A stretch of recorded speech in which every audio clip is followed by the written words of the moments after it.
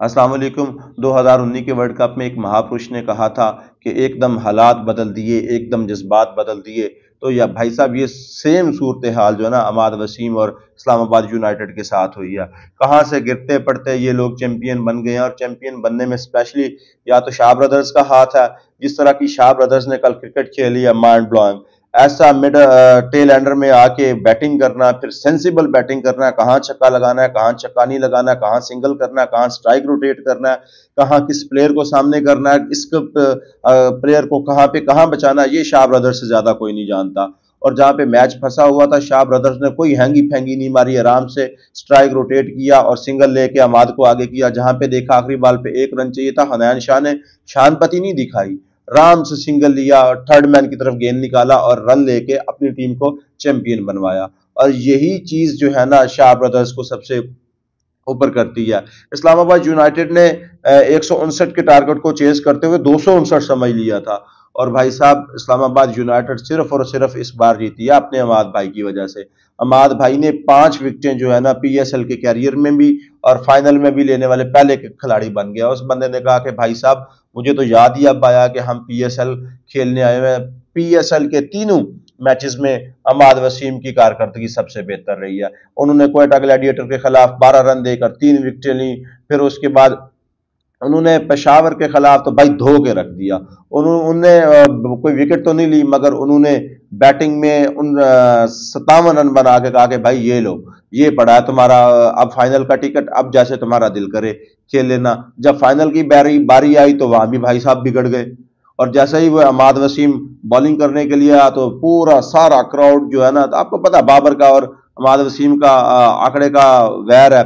तो भाई साहब, अमाद वसीम जैसे ही बॉलिंग करने आए तो लोगों ने बाबर बाबर चैंडिंग करना शुरू कर दिया। ऐसे में अमाद भाई गुस्सा कर गए। अमाद भाई ने आते ही यासर खान को पकड़ लिया। यासर के बाद उसको डेविड वैली को पकड़ लिया। अब डेविड वैली को इस वक्त भेजना मेरा ख्याल है कि पता नहीं मुल्तान सुल्तान वाली मैनेजमेंट धनिया पी के सोई हुई थी। ऐसा तो लीग मैच में हो जाता है। ठीक है आपको प्रॉपर एज ए बैटिंग आ, बैटिंग सेटिंग के साथ चलना चाहिए था मगर आपने कहा कि नहीं यार रिस्क लेते हैं। और फिर रिस्क एक नहीं दो नहीं तीन नहीं चार नहीं रिस्क पे रिस्क लिए हैं।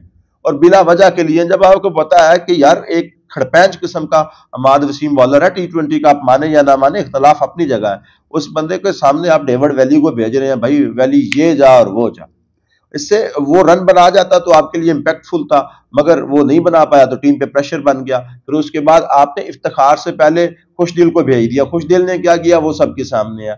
उसके बाद आपने फौरी तौर पर जो है वो उसामा मीर को भेज दिया। असामा मीर का भाई एक आधा टुल्ला लग जाना तो बड़ी बात है उसने पहली बॉल पे छक्का लगाया दूसरी पे आ, उसको पड़ गया था शदाब की ये बंदा अब भी उसी जोन में खड़ा होकर मारेगा। चलो या तो आप बॉलर की एंगल समझ लो कि बॉल किधर करवाएगा। आप अपने से दूर बॉल को बल्ला डाल रहे हो ऊपर कैच दे रहे हो वहाँ से अपनी टीम को प्रेशर में डाल दिया।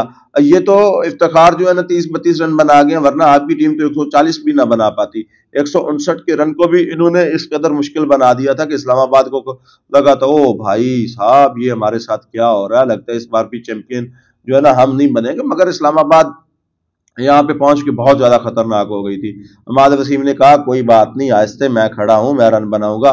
मगर नसीम शाह ने कहा कि, भाई तू तो बनाएगा बनाएगा। मुझे शाह ब्रदर हम किस लिए हैं? हम रन बनाने के लिए टीम में है। भाई नसीम ने जिस तरह का सिक्स लगाया ना छक्का ये आ, पूरे जो मिडल ऑर्डर के बैट्समैन है ना उनको देखना चाहिए कि भाई कैसे शॉट लगाते हैं वो भी क्रिटिकल सिचुएशन में। इस बंदे ने भाई साहब अपने आप को साबित कर दिया इस बंदे की और ऐसे बंदे की जो इस तरह की क्रिकेट सेंस रखता हो टीम में होना बहुत ज़रूरी है। इस बंदे को पता था कि अब ऑफ़ स्पिनर लगा हुआ है इफ्तार सामने है तो बचा के रखना है इमाद को क्योंकि आपको पता है ऑफ़ स्पिनर जो है ना वो खब्बे बैट्समैन का वेरी दुश्मन होता है। तो उसने कहा कि भाई मैं सामने खड़ा हूँ स्ट्राइक रोटेट करता हूँ सिंगल डबल शाह ब्रदर ने मेरे शाह ने दो चौके, एक छक्का लगाया, सत्रह रन बनाए, मगर उस बंदे के वो रन जो है ना काउंटेबल उस बंदे ने रन बना के अपनी टीम के लिए सामने खड़ा कर दिया, ये ले भाई। वो तो उसको बाउंसर पड़ा, उसने पीछे कैच हो गया, उसके बाद हुनैन आया, हुनैन ने कोई शान पति नहीं दिखाई। ये होता है ना कि भाई शान पति दिखा दो, ना, एक बॉल आई और स्लोअर वन था। मोहम्मद अली ने बहुत अच्छी बॉलिंग की छह रन बचाने थे और छह रन बचाने के लिए सामने नसीम है दूसरी तरफ़ अमाद वसीम है। छह रन बचाना दिल गुर्दे का काम था।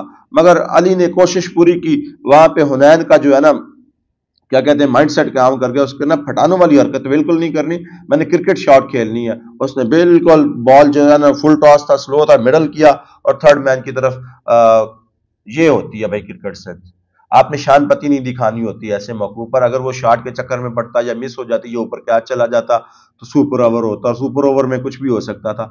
बहरहाल मुल्तान सुल्तान एक बार फिर बदकिस्मत रही। चार अभी तक फाइनल खेले हैं, तीन उनमें से हार गए एक जीता था। और भाई साहब, कोई पकड़ पकड़ के कुर्बानी का बकरा दो, काला। क्या पता तुम्हारी भी बाबर की तरह किस्मत ही फंसी पड़ी हो। इधर लोग आपको रिजवान को कप्तान बनाने की सोच रहे हैं और रिजवान भाई हैं कि मुसलसल जो है ना, वो नहीं जीत रहे। आप तीन बार फाइनल में पहुँचे और आप जीत नहीं रहे। रिजवान भाई, कुछ तो करने का भी है। आप करें अपने साथ कुछ। अल्लाह आपके लिए मजीद आसानियाँ फरमाए। कंग्रेचुलेशन इस्लामाबाद। बाकी वीडियो डिटेल में बाद में।